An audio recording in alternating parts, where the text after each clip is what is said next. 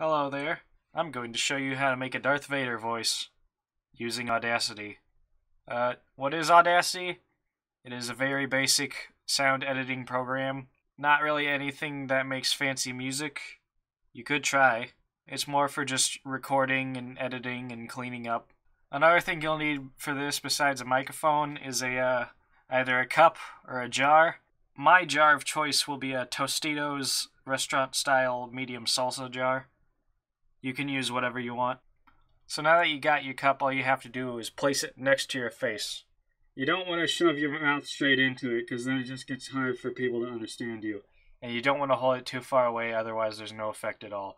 You want to hold it just off the side of your face here, so it's pressing into your cheek and maybe the side of your nose as well.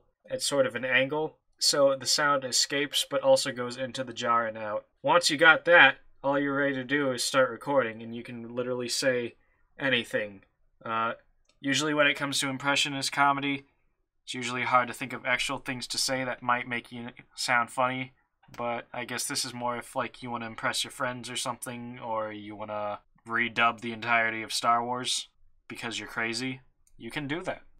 For now, let's just keep it simple to the classic line that everyone probably might know, even though it was like the biggest twist of whatever back in 1979, whenever the, the original Star Wars came out. No, Luke, for you see, I am your father. Of course, this might be a bit more about voice acting too. You kind of got to have some method to it when you're doing it. You can trim up your audio here, cut it down to whatever you need. One thing I might recommend though, uh, if you find if you play back the audio and find that might be a bit noisy in the silent parts, like right here. Oh. Well, it's a very short clip, but you can still kind of hear a bit of something noisy. You can go down here to noise reduction, click on that. Uh, select only the silent part of your audio clip, and then hit get noise profile. Then select the entirety of it, hit effect, repeat noise reduction, and boom. Now when you play it back, it should be quieter during the actual silent type parts, instead of being able to hear that fan in the background, or your kids barking. No, Luke, for you see, I am your father.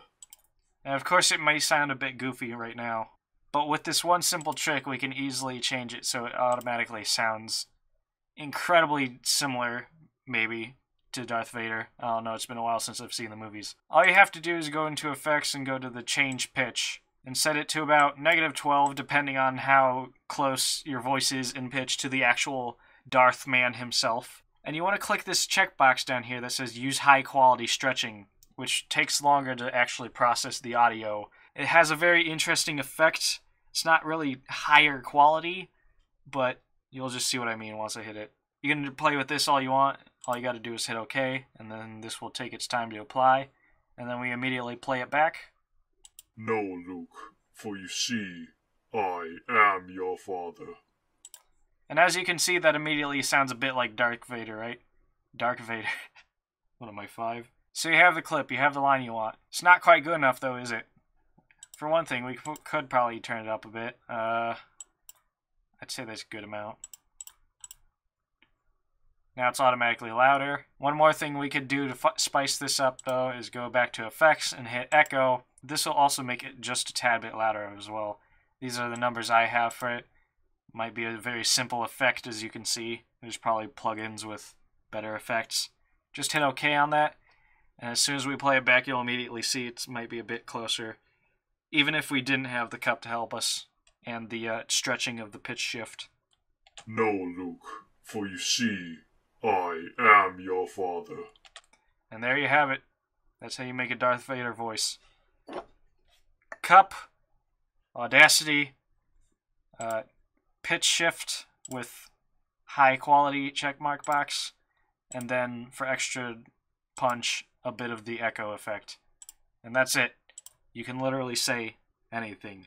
Go, scare the absolute fucking shit out of your friends, say a bunch of like absolutely racist stuff as like Darth Vader, and then post it all over Twitter. People will lose their goddamn shit. Uh, boycott Disney for stealing Star Wars.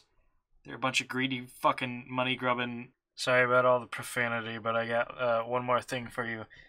If you want to see any more tutorials about anything production wise, be it video making, movie making, more stuff with Audacity and voice acting, whatever. Ask me anything. Be it video editing tips, uh, techniques, anything you might be curious about. Uh, this is Sony Vegas 14 that I use for editing videos. This is the video right now. If media production of any kind is something you want to get into, hit me up, ask me in the comments. Thank you for sticking around and watching this little tutorial I made that probably belongs back in 2005.